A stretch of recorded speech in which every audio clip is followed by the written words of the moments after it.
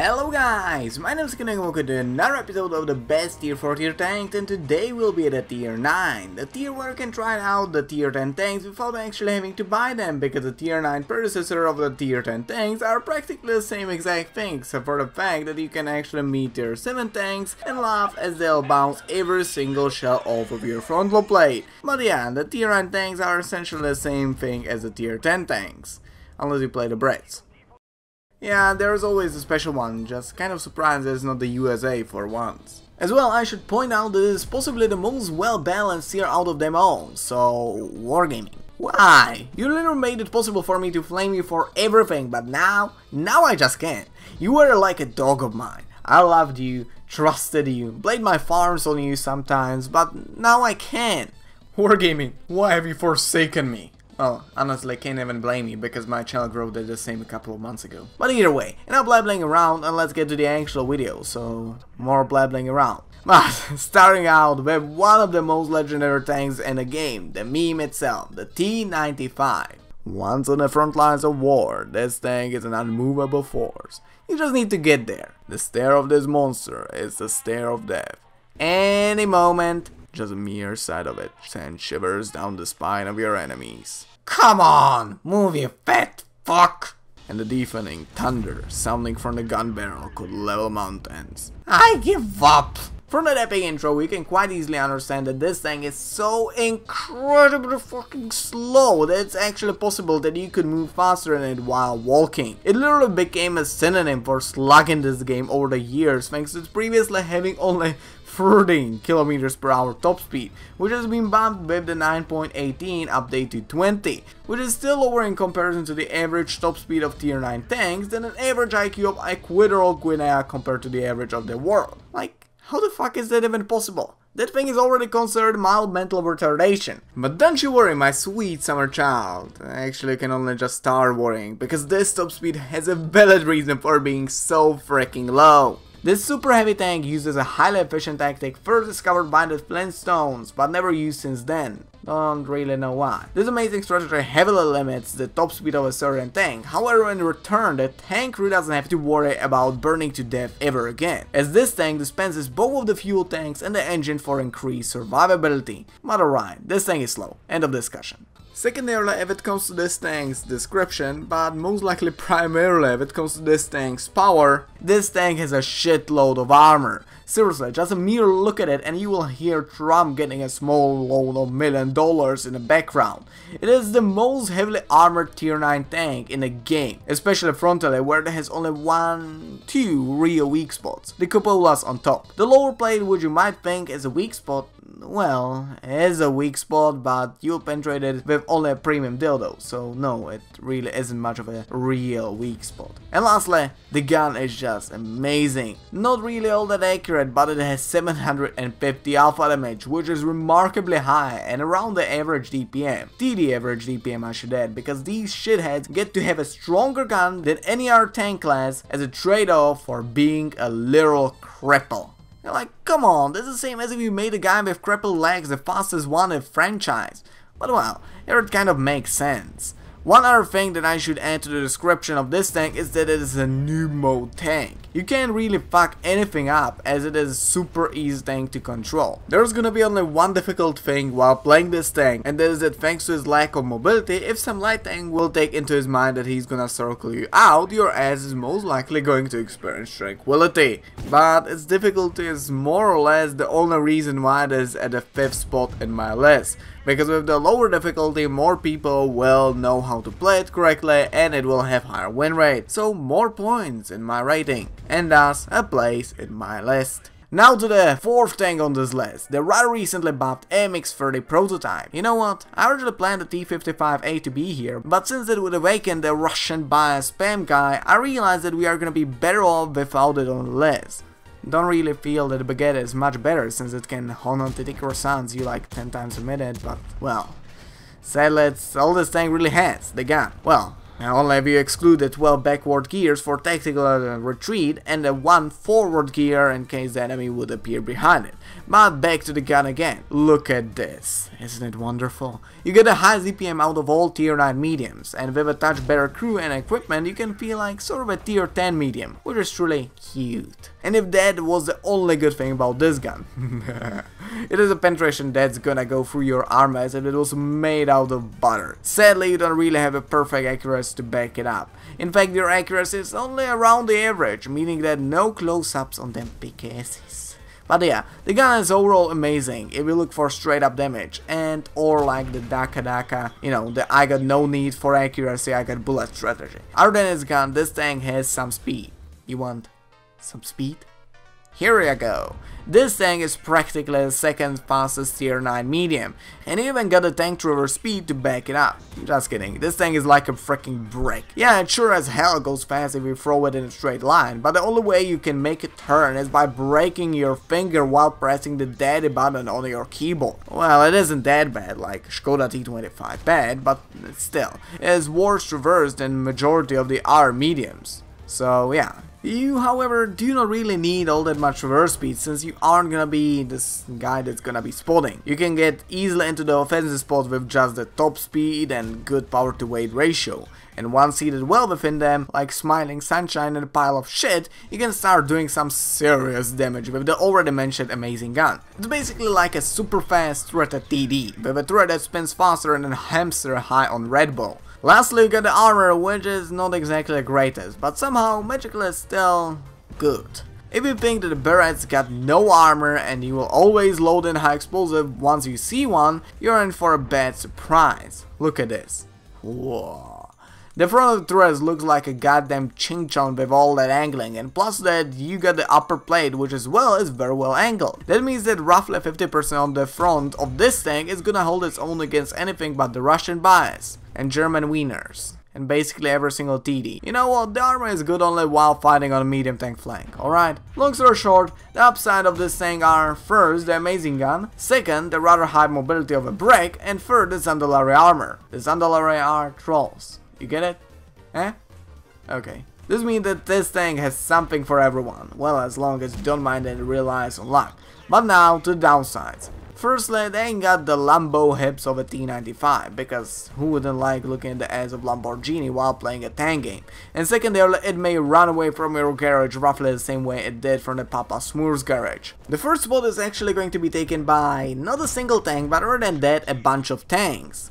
What bunch of tanks? The Leroy, the Skutkuts, the light tanks.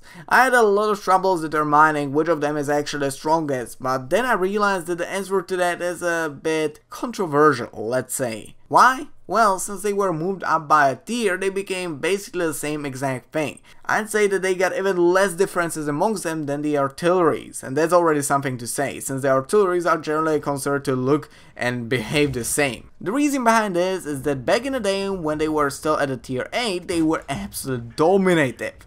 The AMX was possibly the strongest of all the light tanks, capable of two clipping opponents. The Are You Kidding Me was the fastest tank in the entire game, and so on. But as they were moved up by a tier, and with the new matchmaking, they were so incredibly powerful that they had to be nerfed as they were basically replacing mediums. Instead of guns with an actual boom, you got this the thing goes pick pick pick pick pick. Fuck you, that meme sucks. I fucking dislike it.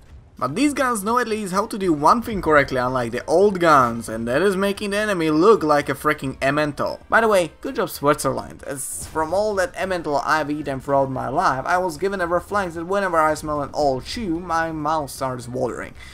Just kidding, I'm from a cheese addicted country as well. But yeah, the lighties are pretty much even nowadays. They only differ in their size and shape, but that's about it. Still though, if I had to personally point out my favorites, I'd go with the AMX 3090 and the T54 Lightweight, as both them offer some special stuff on top of the basic stuff. The AMX was previously known as possibly the strongest light tank in the entire game, with its insane speed and the autoloader gun.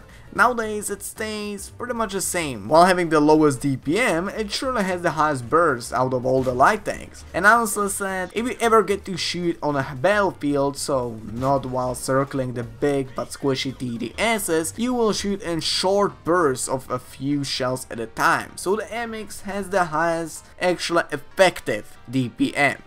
The T-54 lightweight on the other hand is basically just my love tank. On top of being a simple light tank, it has a medium tank armor. It can easily match the armor of the AMX prototype. But now, lastly, the weakest one is possibly RU as it is basically nothing to offer and it is rather big. It's so big. I have a feeling that I'm gonna be demonetized for that. Just kidding, I don't give a single damn about the YouTube's money. But seriously, like, what the fuck is with the Evelynn's quotes? Like, when you pick her, you know you want me. Once again, a woman is less unsatisfied. Like, what the fuck, they are so fucking horny. Dragon, not the first time I've had a dragon. Finally, a man who can satisfy me on a freaking tentacle monster. And then you get like, don't, I've had my eye on you, now I'm gonna rip yours out. What the fuck? But now to the second thing on this list, which is gonna be the Conqueror. I actually made a full review of this thing a while ago that still has less than 100 views, so if you're interested you can go and watch it, you know, and leave a like, maybe maybe a comment, maybe even subscription, because, you know, you know, it, it kind of helps, please. But yeah, the Conqueror conquers like a bunch of bakers in Greece. Spartans! What is your profession?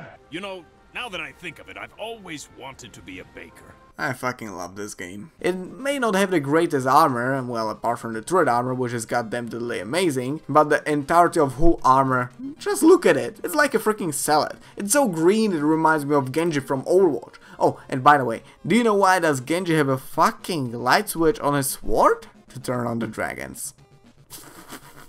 But yeah, the armor of this tank is rather similar to things such as the T-29, Kranvagn, and so on. You got some fake turret armor, but your whole armor just sucks. But that's not the reason why I'm placing it so highly on this list. The real reason is this or even this, since it's rather recent buff. Now, the Conqueror was always known for its super hard hitting gun, which had both good penetration and accuracy for its amazing 490 alpha damage, not to mention above average DPM. But since it's rather recent buff, it was given a second gun. The second gun has ridiculously high DPM, but sacrifices some of its penetration. A lot of it actually, but yeah, and the medium tank DPM is truly worth having a bit less penetration, at least in my opinion. But lastly, the mobility.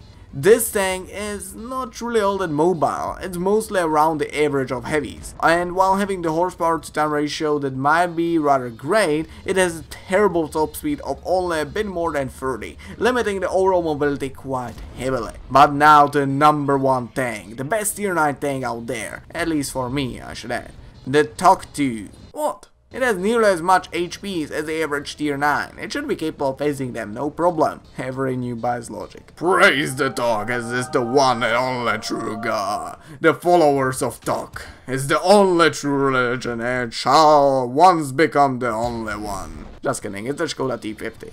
It is like, any wonder why this thing is number one? It's broken.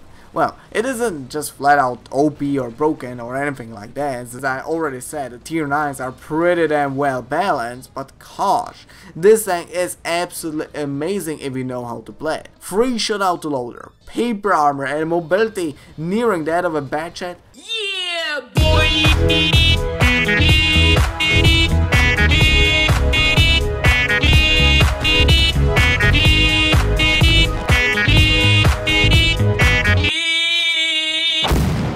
Well, anyways, let's start with the worst thing about this tank and progress to the best thing about this tank. The worst is definitely the terrible armor, which might be looking similar to the one you may find on the Russian mediums, but trust me, it's much, much worse. Seriously, the AMX may have crappy armor, but the baguettes know at least how to angle. Here? Nah. The a bit better thing about this tank is gonna be the speed, which may not be exactly nearing that of light tanks, but definitely enough to make the Skoda the second fastest medium at a tier 9, which is pretty neat. As well, it thankfully has rather meaningful turning speed, unlike the AMX, so it won't behave like a brick. Mega faggot. Overall, the only limiting sort of thing if it comes to mobility of this tank is the top speed of only, quote unquote, only 50 kilometers per hour. But the main point of even playing this thing is the amazing free shot autoloader. Firstly, let's start with the fact that it has a DPM that is not sheer utter garbage. Like, you know, the batch has DPM. Secondarily, it is far more accurate than the other autoloaders thanks to it already using the APCR ammunition, which flies much faster than the regular AP ammo which you might find on the regular chat. This allows you to give less lead to a shot and still be capable of hitting your opponent even at longer distances. The regular accuracy stats are about the average, but there is one catch. The thing that makes this tank pop off like American Christmas. I mean the real American Christmas. The 1.8 seconds long intra clip reload. This tank has a burst higher than a goddamn nuclear mushroom. It allows you to literally fire 960 damage within 3.6 seconds of the first shot. There is no other tank at this tier capable of firing at you twice, let alone thrice within this amount of time. That is fucking amazing. You can just come from behind a corner, triple penetrate the enemy's asshole. Jeez, this thing is kinky. And then leave while the enemy is confused like ah! and your damage meter shows 1000 more. I just love it. And the best part, it leads to TVP, and they're amazing tanks, so yeah, it isn't just one-time quickie. And especially it isn't just me liking Czechoslovakian tank because I'm a Slovak myself. But anyways, this is gonna be the end of this video, hope you enjoyed and I hope that I'll see you next time. By the way, at this, uh, by the way, at the end of this video, I'll try to put an outro and if there won't be an outro please try to remind me underneath this video in a comment section because I probably forgot to look at this part of the video while editing it. It's actually quite possible because you know while editing I don't always look at every single part of the video because I'm lazy. And once I finish the video I'll render it even with useless bullcrap and then I realize it like two months later while I'm randomly rewatching my video because I found it and recommended it but Whatever, this is gonna be the end of the video, hope you enjoyed, bye!